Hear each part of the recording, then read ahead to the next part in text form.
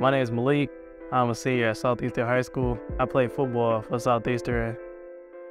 I came to DBG at 2019 or 2018. I was in eighth grade when I first came here. Coming here every day helped me bring out my inner self. DBG has taught me I can do anything. I'm very hardworking academically, physically, mentally. DBG gets you prepared. After high school, I'll be pursuing physical therapy and trying to get in Wayne State.